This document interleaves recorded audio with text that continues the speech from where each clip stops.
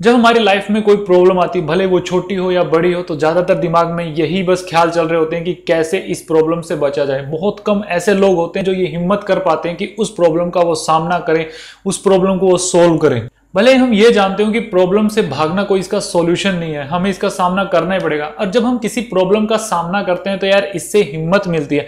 ऐसा तो है नहीं कि आज हम इसी प्रॉब्लम से भाग गए, उसका हमने सामना नहीं किया तो वो कोई आने वाले टाइम में हमारे सामने कोई प्रॉब्लम नहीं आएगी। यार प्रॉब्लम तो आती रहेगी लाइफ में बट जैसे ही हमने उसका सामना किया किसी भी प्रॉब्लम का तो हमें इससे हिम्मत मिलती है। अब भले ही कोई भी प्रॉब्लम आए हमारे सामने, हमारे हमारे अंदर एटलीस्ट उसका सामना करने के लिए, उसको फेस करने के लिए, उसको टैकल करने के लिए हमारे पास हिम्मत होगी। और एट दी एंड किसी भी प्रॉब्लम से भागकर उससे छुटकारा नहीं पाया जा सकता। आपको उसका सामना करना ही पड़ेगा, उसको टैकल करना ही पड़ेगा। चाहे हंस कर करो, चाहे आप रो कर करो आपके पास कोई रास्ता नहीं होता बट आपको उस फेस उस प्रॉब्लम को फेस तो करना ही पड़ेगा। और जो आज ये मूवी मैं आप लोगों को बताने वाला हूँ, मैं ये कहूँगा कि ये मूवी आपको, आपकी उस प्रॉब्लम से, जो वो कितनी भी बड़ी हो या छोटी हो कहीं ना कहीं आप लोगों को इंस्पायर करेगी कि उस प्रॉब्लम से भाग कर नहीं, उसका सामना करके उस प्रॉब्लम को हटाओ। नमस्कार दोस्तों, इस वीडियो में बात करने वाला हूँ वुल्फ चिल्ड्रन एनिमे मूवी के बारे में, जो 2012 के अंदर आई थी। इसे डायरेक्ट और राइट एक इंसान ने किया मामोरो होसादा ने। अब मैं ये कहूँ कि यार, इस एनिमे सीरीज़ में बहुत ज़बरदस्त एनिमेशन दिखाई गई है। इसके अंदर बहुत ज़बरदस्त फाइटिंग सीन दिखाए गए ऐसा बिल्कुल भी नहीं है। कुछ एनिमेशन इसके अंदर कुछ खास नहीं है। बट इसके बावजूद भी ये जो एनिमे मूवी है, बहुत कमाल की है। कहानी के बारे में बता देता हूँ। एक खाना नाम की एक लड़की है जो कॉलेज में पढ़ती है और उसको एक तकाओ नाम के एक लड़के से प्यार हो जाता है और तकाओ जब इससे प्यार करने लग जाता है तो अपने एक, वो एक सीक्रेट उसे बताते हैं। अपनी प्रजाति का आखिरी वुल्फ बचा है। मतलब वो एक भेड़िया होता है वुल्फ मैन होता है। ये जानने के बाद हाना उससे प्यार करना छोड़ नहीं देती, बल्कि उससे प्यार ही करती है। कहती है कि तुम बहुत अच्छे हो, मुझे कोई फ़र्क नहीं पड़ता, तुम जो भी हो। और फिर हाना और तकाओ दोनों मिलकर साथ रहने लग जाते हैं और इनके दो बच्चे भी होते हैं, एक जो लड़की होती है यूकी नाम होता है और एक जो लड़का होता है, एम नाम होता है।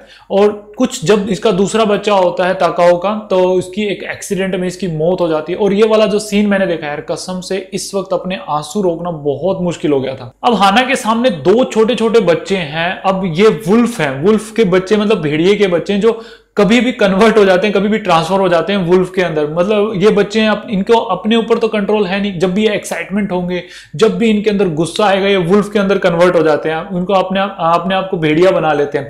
तो अब हाना के सामने ये प्रॉब्लम होती है कि कैसे इन बच्चों को अच्छे से इनका पालन पोषण किया जाए। क्योंकि दुनिया कभी भी इन बच्चों को कभी भी एक्सेप्ट नहीं करने वाली है। तो हाना टोक्यो छोड़कर एक विलेज में चली जाती है। जापान के एक बहुत दूर एक विलेज में चले जाती है, जहाँ पर आसपास कोई नहीं रह रहा होता, ताकि इन बच्चों को ये सही ढंग से मतलब पाल पोल सके, इनको अच्छी से शिक्षा दे सके। हाना को ये भी पता है कि जब भी ये बीमार होंगे, वो इनको दिखाने के लिए कभी भी किसी डॉक्टर के पास भी नहीं जा सकती। देखो यार, बहुत सारी प्रॉब्लम्स ये फेस करती है। जब ये गाँव में जाती है तो वहाँ पर अपने बच्चों के लिए ये भरण, उनको मतलब पालने के लिए जो वो मेहनत करती है, कमाल की मतलब इसमें बहुत ज़बरदस्त तरीके से दिखाया गया है। जैसे कि मैंने शुरू में कहा कि आप अपनी लाइफ की कोई भी एक ऐसी प्रॉब्लम इसके साथ कंपेयर कर सकते हो कि मतलब कि हाँ जो सिंपल नहीं थी, बहुत ज़्यादा हार्ड थी। तो ये जो प्रॉब्लम इन्होंने दिखाई है, यहाँ पर कोई सिंपल तो प्रॉब्लम है नहीं। जो एक वुल्फ के जो बच्चे हैं, उनको पालना है, दुनिया से बचाना है, उनको अच्छी शिक्षा देनी है। तो ये जो ये जो औरत जो करती है, वो यार बहुत कमाल की चीज़ होती है और इससे डेफिनेटली आपको अपनी लाइफ में जो भी प्रॉब्लम जो आती हैं, उससे लड़ने की तो कहीं ना कहीं आपको ताकत मिलेगी। और मैं ये ज़रूर कहूँगा कि यार, एक बार एक बार एटलीस्ट इस मूवी को ज़रूर देखो यार। यूकी और यामे के बारे में बात करूँ तो यूकी जो लड़की है, वो बहुत ज़्यादा खुले मिजाज की है। वो उसे उसे दोस्त बनाना बहुत पसंद है, उसे दुनिया देखनी बहुत पसंद है।